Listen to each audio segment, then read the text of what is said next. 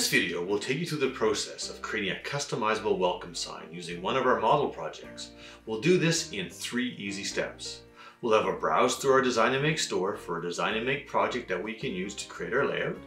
We'll install the project, set up a job, create the layout, and add a bit of customizable text that we can V-carve. And then finally, we'll develop a set of toolpaths to cut the project with. For this project, we'll use VCarve Desktop, but keep in mind that all that we're doing can be done in VCarve Pro and Aspire. So here we are back at the Design and Make store. Let's go ahead and log into our account.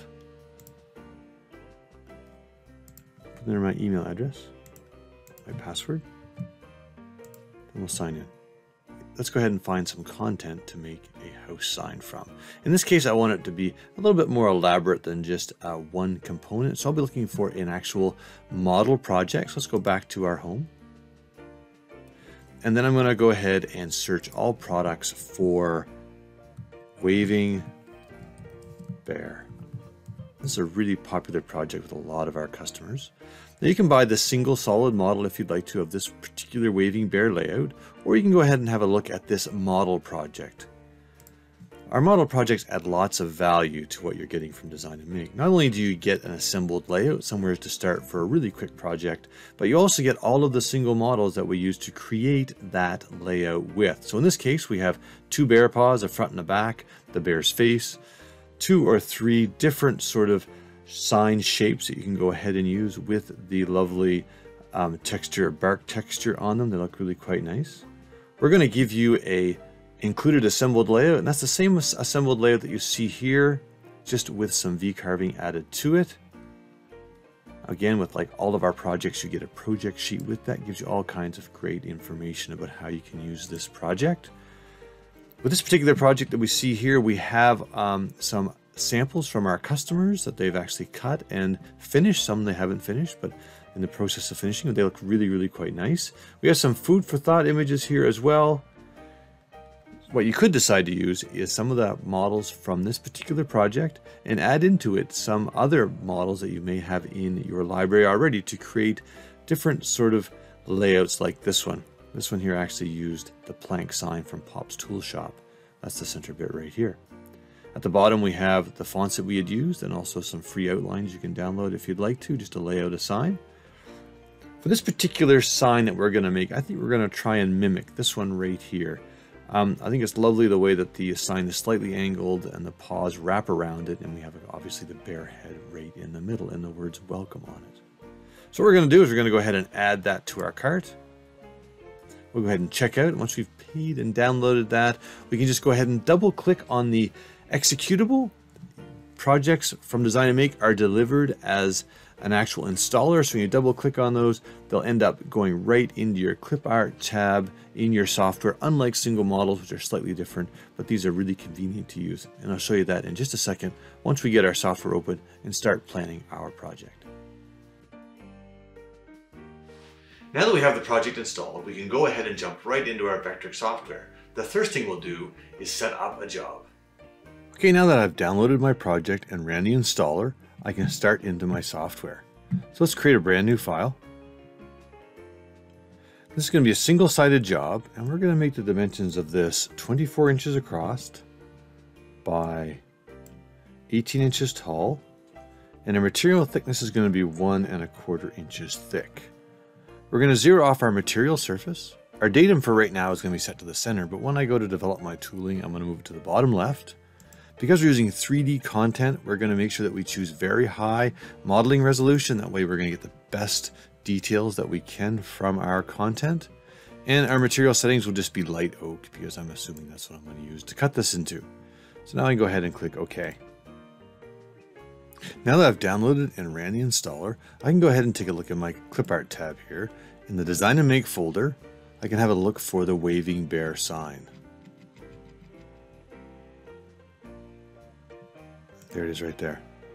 So you can see that the content's all been installed. I've got my included assembled layout. I've got my two bear paws, my happy bear face, my log slice, my rustic sign, and my rustic sign number nine. And then we also have our project sheet here for inspiration if we want. But for now, we're going to start off with our log slice. So we're just going to double click on that. In our 2D view, we'll hold down our shift key and we're just going to scale this up to be just about the, the right width that we need, keeping in mind that our bear paws need to be added in later. That's great. And let's just go ahead and slide that down to around there someplace. Now let's go ahead and bring in our happy bear face. And again, we're going to need to hold down our shift key and grab that handle there and size it up to be just approximately the right size that we want it to be. Somewhere's around there. And let's just go ahead and drag that up place it there. That looks pretty good. Let's go ahead and shift select our log and we'll just use our cursor keys and just nudge that down so it's more in the center of our page like that. Looks good. Now we're only going to use the bear paw backside, so let's go ahead and double click on that and we'll place it where we want it to be. We'll start with the bottom one here.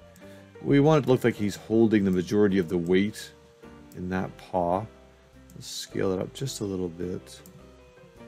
That looks pretty good like that. The size looks pretty nice. And you'll see that I'm working in our software very organically, placing them where they are and then slowly kind of making them sized properly for what I need, looking straight down on my project. I think that looks okay. And then we're going to go ahead now and hold down our control key and drag, and that'll make this a copy of this particular bear paw. And then what I can do is just grab the control handle here for rotation and rotate it all the way around. So now it looks like we've got the other paw.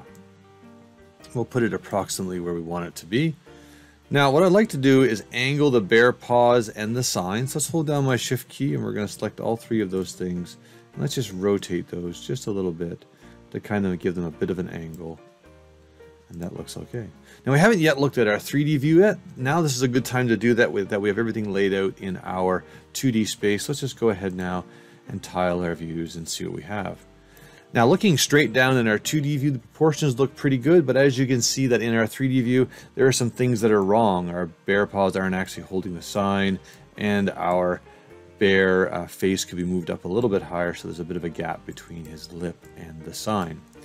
So the first thing I want to tackle is just to make sure that this sign shape is the right shape height to base everything else on. So let's select that, go to our modeling tab and go ahead into our component properties. We'll take a look at our shape height. So right now it's at over almost one and a quarter inches. So let's make this 0.85 of an inch. And it'll give us a nice base to start from. Let's have a look at our head here. And that's that's okay. And we can actually, what we might want to do is maybe just kind of tilt it just a little bit. And then maybe we can just kind of slide it up a little bit. So we have a little bit of a gap between his lip and the top of that board. That makes it so our tool can get in there nice and easily. That looks great. Let's have a look at this paw up here. So to do this, we're going to need to actually use one of our options here, tilt or fade. In this particular case, tilt makes sense. We're going to tilt it from this end of our paw up over top of our sign. So let's just go ahead and choose choose tilt. We're going to set our anchor points, one here and one over here. We can just go ahead and angle that up just a little bit so that it kind of comes up through the sign. That looks pretty good. And let's add a little bit of base height. We'll add some material to the back of our paw. Oh, that looks really good like that. We can actually make that maybe 2.5. And then we'll take our total shape height to make that up to a half inch. And there we have it. So it looks like the bear paw is kind of wrapping over top of that wood. Now what we're going to do is we're just going to keep in mind what we have here. So shape height of a half inch, base height of 0.125 an inch, and then a tilt of about 0.8. So let's go ahead and grab this paw here. We're going to do exactly the same. So let's set our tilt from here to there. And we'll make sure this is 0.5. We'll make this 125. And then we'll start this off at 7 degrees. And there we have it. And let's just see what we have here. That looks okay, except for we need to tilt this just a little bit more. Maybe what we want to do is actually just change our anchor points. Just to be more like that maybe. Maybe it looks a little bit better. Maybe we just need to add just a little bit more base height onto this to get it to push through. And there we are. I'm really happy with that. That looks pretty nice. Let's take a look at that in our 3D view. That's great. Now if we roll up on our edge, we're going to see that everything seems to be pretty much even across there. We probably could add a little bit more shape height to the face of our bear so that everything is kind of nice and even. But in order to figure that out, we need to know what the maximum height is of our actual full composite layout, which is what we see in our 3D view. And to do that, we can just go over to our scale option here. So let's click that. We'll see that the current height of the composite model is 1.24 of an inch. So let's just keep that in mind and let's cancel that. Let's grab the bear face. Let's go into our shape height here and let's change this to 1.15. Press the spacebar and there we go. Close that down. And there we are. That looks pretty nice. I'm pretty happy with that. That's great. Now, again, we're going to take a look at the overall shape of this. I think all of the components are scaled properly for each other, but in order to fit inside of our material, I think it needs to be a little bit thinner so we can end up adding some backing to it with our material. So let's go into our scale model height. We're going to set an exact height down here at the bottom. We're going to go ahead and make this one inch right on the money apply, and then we'll close this down. That'll give us a quarter inch of backing so we can thicken up thicken up any of these thin areas that might be around. And I'm pretty happy with that. So let's just click OK. Let's tile our views again and let's think a little bit about the text that we're going to put on our sign. Let's go into our drawing tab and down to our draw text feature here. And we're going to type in the word welcome. Now we can go ahead and select the font that we want. I really do like this exotic font here. It looks pretty good, but of course you can choose any font that you have in your library, but I kind of like this one here.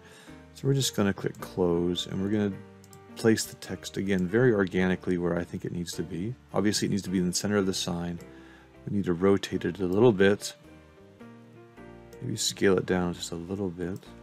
And to get the the best use out of the space on our sign, we may need to think about sort of repositioning our paws just slightly so that we can get the welcome text as large as we can. So let's grab this paw here. We're going to use our cursor keys. Just kind of nudge it up and over a little bit. Looks okay. Let's see with this one here. We're going to move it down a little bit. Maybe over a bit. That looks okay. And then we can nudge this down into place where it needs to be. It kind of needs to avoid this claw over there and get close to that claw there. We might need to actually size this down just a little bit so we avoid all that. Like that. I'm pretty happy with that. In the end, that looks really great. Now that we have that all done, we can go ahead now and start to develop some tooling. Of course, we can change this all later if we'd like to, but right now this is a great place to start. let's bring up our Toolpaths tab, pin it down, retile our view so we can see everything that we need to. Ahead and set our material again. Again, the thickness is one and a quarter inches. We're gonna move our datum to the bottom left because we like to machine from that bottom left corner, or at least I do. We're gonna zero off our material surface. We're gonna make sure that we push that all the way up to the very top of our material. And we're gonna set our rapid Z gaps and our home position safe and appropriate for our machine. And that looks great and we'll click OK. Now, as usual with anything that we give you or we show any tooling in any kind of software that we offer, we want to make sure that you guys take a look at that and look through all of the tooling, review it all, and make sure that's safe and appropriate for your machine, the tools you have on hand, and the material you're cutting it into. Okay, safety first.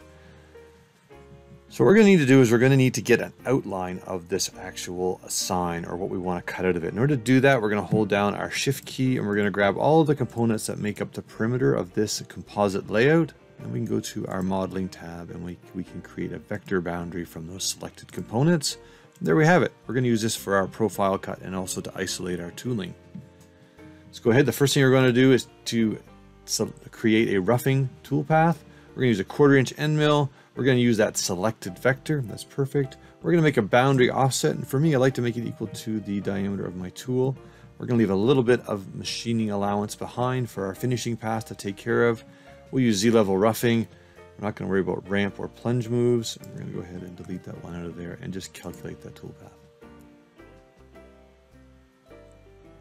As always, it's really important that you preview your visible toolpaths. If it doesn't look right here at all, then this is the time to go back and fix it.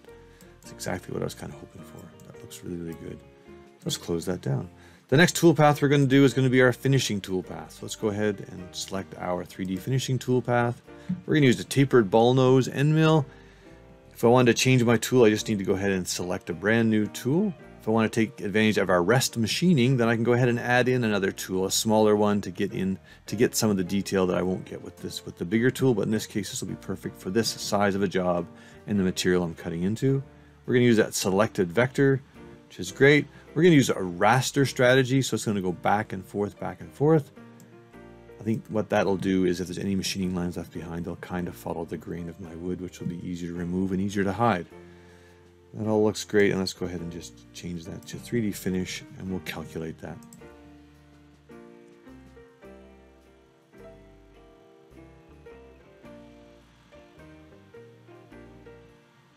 Okay, let's go ahead and preview our visible toolpaths and see what we get. And that looks really good. I think we're getting a nice balance here. We're getting lots of detail in that bark texture there, and his face is coming out quite nice and so are his paws. I'm really quite happy with that. So let's close that down.